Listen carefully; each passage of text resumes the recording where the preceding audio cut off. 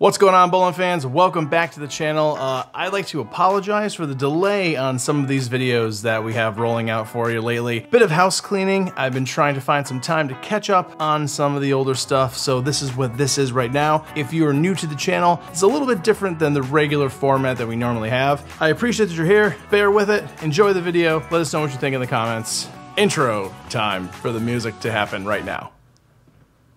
Now.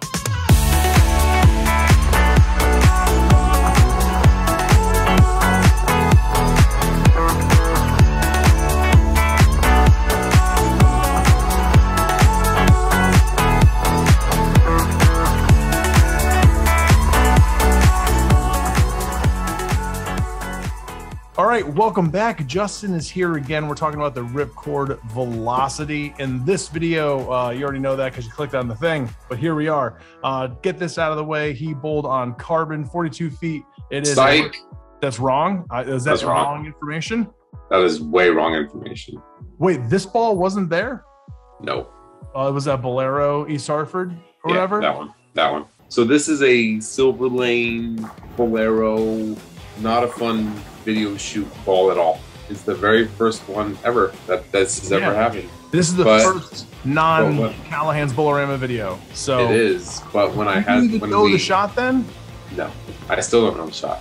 The last time I remember talking to the guys over at Bowlero, um, me and uh, Justin and I know the guy that sets the lanes up and all that kind of stuff for a long time. You can say Nick DeMaine. We can say his name. Nick, an okay, yeah. person. So Nick, uh, last time I spoke to Nick, he said it was uh, 44 feet, I believe. And I feel like last year when you were bowling, that's I think I would assume it's probably the same thing.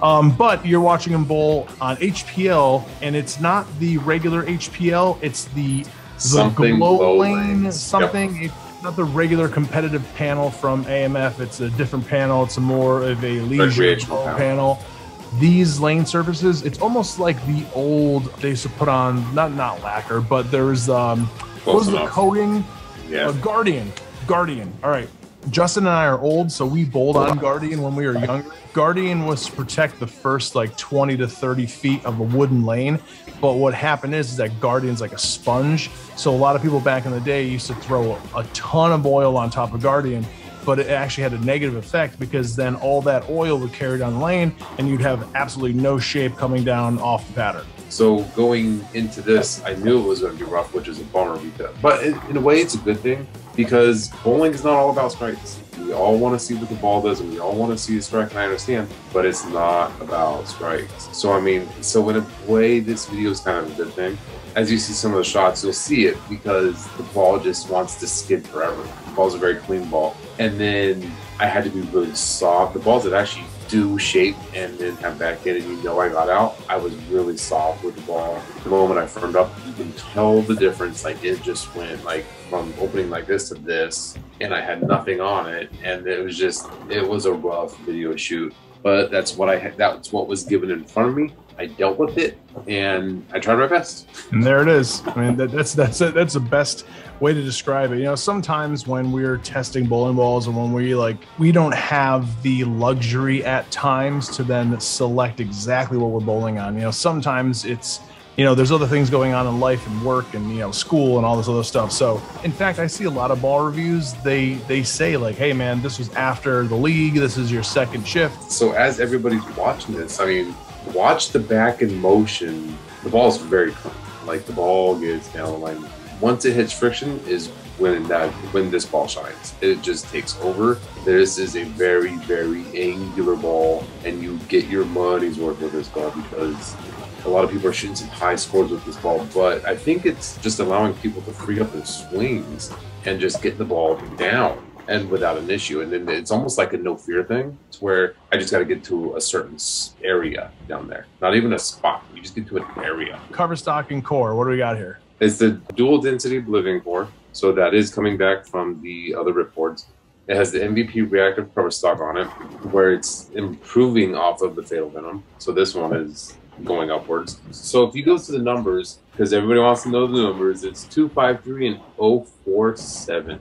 Again, this is a super angular ball. Like I can't remember a time where there hasn't been a time where there's been a ball this angular.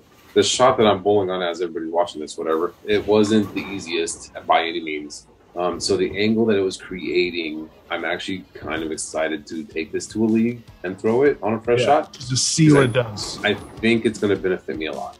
My big thing is going to be surface on this ball a little bit more because I think it's a little too clean. Having any ball at 5500 is kind of, I wouldn't say rough because I throw, Motiv puts a lot of this stuff, like I said before, at 5500 and I throw it very well. But I think surface is going to benefit this for me a little bit and make it shine a little bit more. And I'm not, not talking much, maybe 4,000, maybe three max. But overall, I threw the ball well that night. Hopefully, the shots see that and you guys can kind of see it. I know I tugged some, whatever, but a lot of those shots that look like I tug it, I don't tug it. I hit a spot and it just goes 60 feet because that's what the lane gives me. That Yep. those lanes are so tricky to me for some reason. I don't understand. Velocity, the report is out. Is already So out. Go get yours right now if you want. Like, stop watching this video. I mean, you know, like, subscribe, all that stuff. Then go out to your uh, local Motiv Pro shop, pick that ball up. Huge thanks to Justin back at us. And if you haven't watched the video before that, go back and see the Supra Enzo that just released. As always, thanks for watching, and uh, we'll see you guys very, very soon. Thanks, Justin. Adios. Yo.